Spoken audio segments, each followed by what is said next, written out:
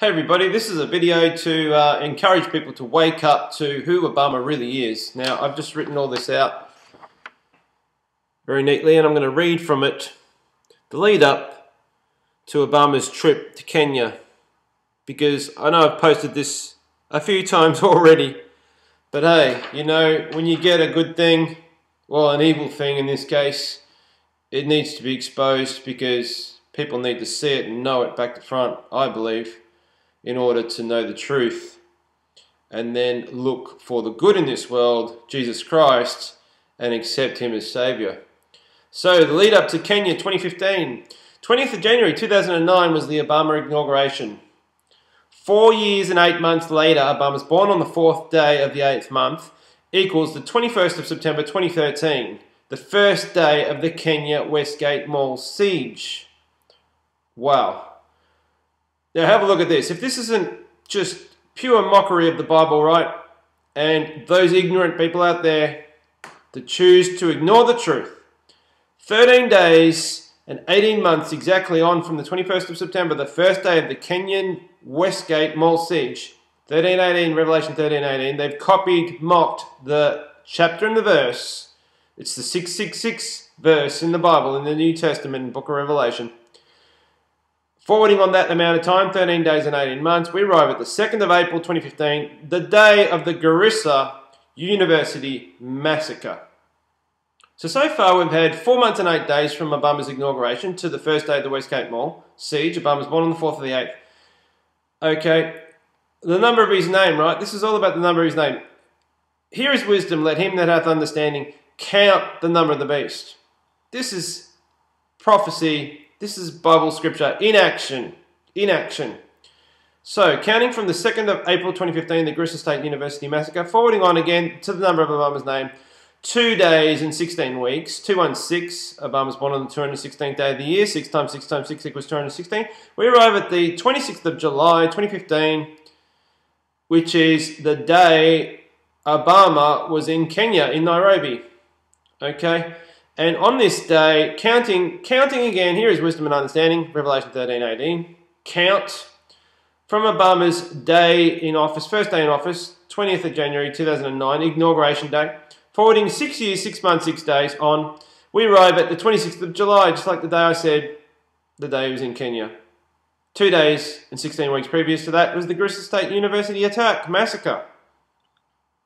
Oh my gosh. And on the 26th of July, also in America, the Baphomet statue, the, the Satanic Temple of Detroit, unveiled the statue to Baphomet, the goat of Mendes, the horned god, the goat god, devil, Satan, Obama, Lucifer, all one and the same today. Obama, Satan, Lucifer, the devil, son of perdition, man of sin, in the flesh.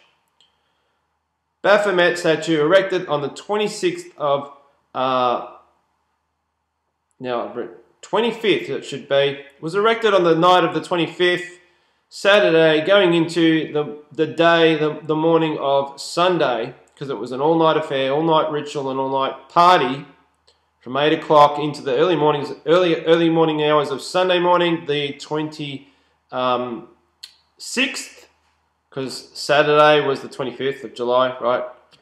And Obama arrived, was in Kenya on the 26th Sunday all to coincide with his sixth year, six month, six day anniversary in power.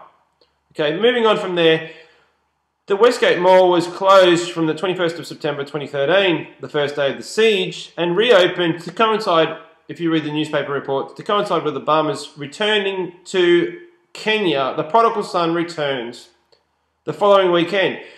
So the Westgate Mall reopened on the 18th of July 2015. Counting back to the 21st of September 2013, the first day of the siege, it's exactly 666 days of closure. It's been closed for 666 days! I mean, that's nothing to laugh about or smile about. That's just horrendously evil, okay? The 18th of July 2015, Westgate Mall reopened, and the newspaper reports say to coincide with Obama's return trip to uh, Kenya the following weekend, a weekend later. What else have we got? Forwarding on from uh, the 26th of July, the um, Sunday, uh, when Obama was in Kenya, six years, six months, six days in office, counting back from inauguration 20th of January 2009, forwarding on nine days. Nine days is judgment in the Bible. Number nine is judgment in the Bible. Nine days in total time in hours is 216 hours. So you can always associate nine days in time with 216 hours, the number of the beast, right? We arrive at Obama's birthday of 2015. Amazing. And last of all on this list, the blood red moon of the 4th of April 2015. The third blood red moon of the 2014-2015 tetrad. 4th of April 2015, two days and 16 weeks later, 216. Now, this is signs in the heavens. This is puts real emphasis on the blood red moons. And have a look at the rest of my other videos on the blood red moons. That it signifies Joel 2, Joel 2.31 and Joel and Acts 2.20. Before the great and terrible day of the Lord begins, the moon will turn to blood, sun will not give its light. These are what these blood red moons were from 1949 to 2015, 66 years and 6 months. From April 1949 to September 2015, 66 years and 6 months, 666. Highlighting that the day of the Lord is at hand, the beast has been born, Obama and the Pope, and they are both in power, the Antichrist and his false prophet. Wow, 26th of July, Blood Red Moon, 4th of April, 2015, two days, 16 weeks, two, day, two days and 16 weeks later on date-to-date cal calculator on timeanddate.com. These are the tools to use to work this out. 26th of July is the day he was in Nairobi, Kenya. Uh, 666th anniversary since taking office, 20th of January 2009. Thanks for listening. Coincided with that Blood Red Moon even. You know, his total time in power to that to that point.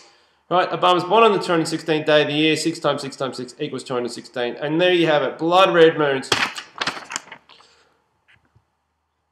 Look at that, people. Look at that. Undeniable. Righto, guys. Thanks for listening. Spread the word if you get this information because this is the real truth that I would love to go into a church and hear this being spoken at least this being shared, taught. Because it always takes one person to observe the truth and then to get it out there. I'm just a messenger in the greatest scheme of this evil world, exposing the truth of this evil world through numerology. Thanks for listening. Counting. Revelation 13, 18. Wisdom and understanding. Start counting.